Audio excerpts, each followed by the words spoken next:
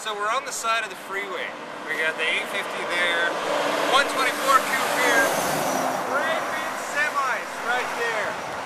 It's really exciting and uh, you know, no huge problems, just you know, some minor concerns and uh, I think we're back at it, Jeff. All right, I think so too. 89 more miles to go. Yes, 89 more miles. And it's once again time for a game of start? Will It Start? Here we go. Stay tuned. Woo!